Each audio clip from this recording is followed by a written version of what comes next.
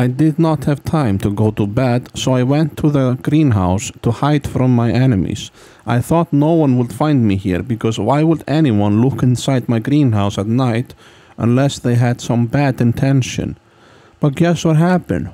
How did I end up inside my house? And then when I checked the mailbox, guess what happened? Marlon was attacking my base and found me inside my greenhouse. Really? What is he doing inside my greenhouse at 3 a.m.? Can someone answer me that question? I am very angry at Marlon because he is not supposed to be greening my house in the house green with green. House. Green. House.